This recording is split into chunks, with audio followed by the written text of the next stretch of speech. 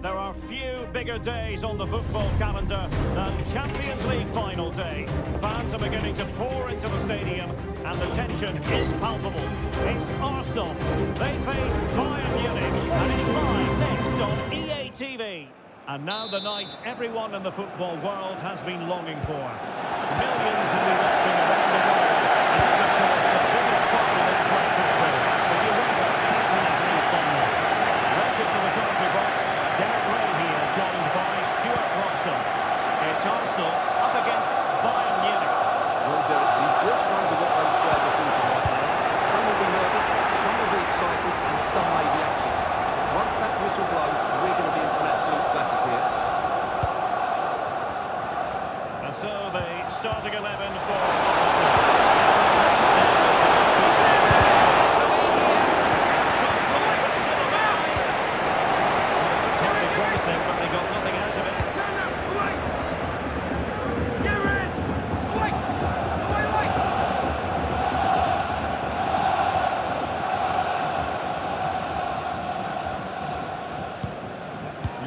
années.